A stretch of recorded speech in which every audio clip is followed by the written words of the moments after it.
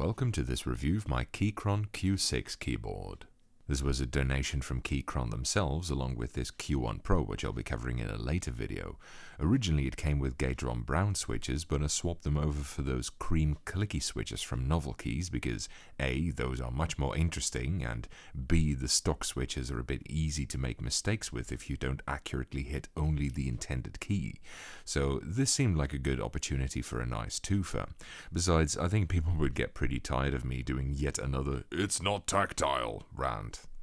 I picked this keyboard by popular choice. I ran a poll on Twitter about which Keychron you guys wanted me to review, as several Keychron models have been heavily requested so far. The Q series was the clear winner, and me being me, I picked the biggest model in that range, which is this full-size Q6. But they also have other form factors available. In fact, Keychron have a huge keyboard catalog, and the Q series alone includes form factors ranging from 40% and even just loose numpads to full size plus ergo and split and even left hand models. So you're really spoiled for choice. But I went with this one. Although I kind of regret not asking for a numpad as well now. That thing looks tasty as fuck and has macro buttons too. This Q6 is actually a bit of a standout to begin with, as although multiple companies do these CNC aluminium keyboards nowadays, very few of them produce full-size keyboards like this, so this is a pretty nice USP if you ask me, all the more reason why I like this one. Now, it's not just the amount of different Qs, but the amount of different series they have that's quite overwhelming, I think. At first, I had no idea what the differences were, but thankfully they were kind enough to help me out at this point. I'll explain the differences here for you, as well as leaving myself a mental note. Yes, I leave notes for myself in my videos. My memory is worse than that of a goldfish, so it's useful to do things like that occasionally. The K series is the most basic and probably the most well known of the lot as well. They're high profile keyboards with RGB, ABS keycaps, Mac or Windows, wired or wireless, etc. Basically a standard model. The Q series is the same, except it's more like a custom keyboard, so it's got a double gasket CNC aluminium chassis with QMK and VIA support, it's hot swappable, has PBT keycaps, etc., all of which the K series doesn't have. Think of it as the Enthusiast series. It is wired only though. Then there's the V series, which is the same as Q, except it's cheaper because it doesn't have the CNC aluminium double gasket chassis, and the S series, which is the same as Q but low profile instead. So the Q series is basically the flagship product now, although I guess the Q Pro series is going to take that place eventually. That basically includes wireless support and Keychron rather than Gateron switches, but is otherwise much the same. Anyway, it definitely has the price of a flagship product, as they range from 140 for a 40% to $175 for this full size, which is a remarkably small price gap for so much more keyboard.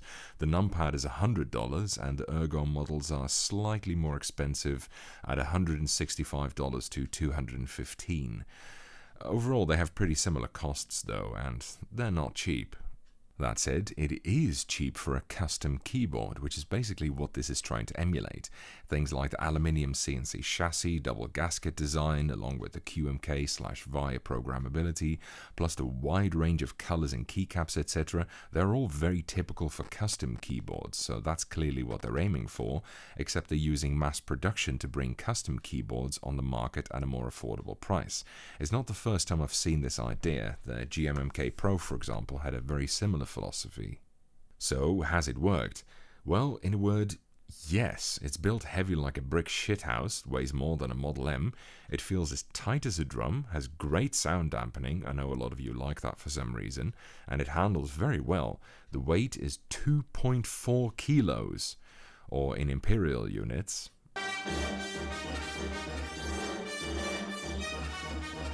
So it's definitely got some heft. The keycaps are great. They look good, they have a nice interesting shape, and they come with a very fine texture as well. And this knob here, which is an option by the way, is pretty good too, if a little bit stiff and not in the customary location. But that's because of these four keys here, so I can forgive that. Volume knobs in general are very useful anyway. One thing I found them especially useful for is that you can pause YouTube videos that are on in the background if you're playing games without having to alt tab and potentially fuck up your game. Neat little side benefit that.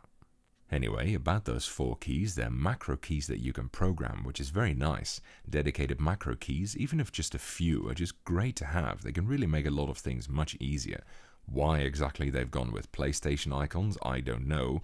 I thought the whole point of a keyboard was that it's physically and morally superior to a controller in every way, and controllers and all the godless heathens that use them should be purged from this earth, but hey, that's what they went with, I guess. Now, as for the programming, it's done with QMK, but thank fucking god it's also VIA compatible straight out of the box.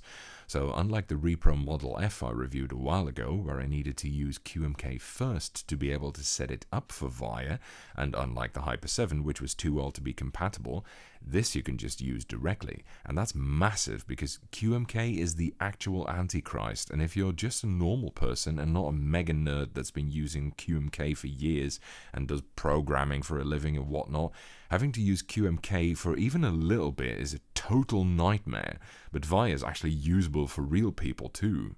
I'll show you. You just go to usevia.app, let it connect to your keyboard, and you just put in the changes you want. You don't even need to save and apply, let alone flash the fucking firmware or whatever. It just works immediately. The only thing you need to save is if you define a macro, but just rebinding keys works straight away. I'll show you how to program one of the macro keys. Let's say that one, and let's say we use macro 9, which is not in use yet. So we go to macro, go to that key, select M9, then we need to define M9, we go to macros, M9, let's say testing, stop, save, and that's it. Now it's already programmed. I mean, that's great. I found out after the fact that Keychron even have a video on how to do this, although I can't seem to be able to switch the sound on, which is kind of useless, but anyway, it's a nice gesture, a mandatory one even, I'd say, because without some instructions, even the notion of what are QMK and VIA and why you should completely ignore the former and never use it in a million years are going to be a total mystery to the uninitiated. Of course, the best thing in my opinion would be onboard programmability without any need for external software, or at least the option of onboard programmability. Just press the program key, put that on some useless position like the insert, then press that with whatever key you want to program, input your string, and then press that key again, bam, you're done. Very nice, that would have been perfect, but if you are going to go the external route, I think VIA is not bad. It's come a pretty long way by this point. Now for the switches, which strictly speaking have exactly fuck all to do with this keyboard, but which I really want to review anyway, like I said, they're Novelkeys' new cream clicky switches, because they're not cream colored, but whatever. In any case, they use a circular plate spring to generate tactility as well as a clicky sound, and the switches come with a spring-loaded pusher in the plunger to provide for over travel among others. I did a teardown video on them, so if you're interested in how they work, have a gander at that one. So one of the things I noticed while I was playing with loose switches was that the switch has extreme mechanical hysteresis in the clicky department. It's not until the plunger gets way back up, basically all the way at the top, that the clicker resets, although the contacts themselves aren't plagued by this. Now, I thought this was going to be an issue, but actually in practice I didn't even notice, so that seems to be fine actually. Now, in terms of key feel and sound, I'm quite happy with this actually. The spring-loaded pusher inside of the plunger means that the tactile event is all but entirely disconnected from your fingers as you're pushing it. So these switches feel almost entirely linear, but they're still clicky, which is a very rare combination indeed. The weighting is a bit on the stiff side, especially considering they feel so linear. Personally, I'd lighten them a bit, but it's not too stiff to be unusable. And the sound, man, I think it's this chassis that really brings out the good in them, but it's a damn good combination, I can tell you that. Listen to this.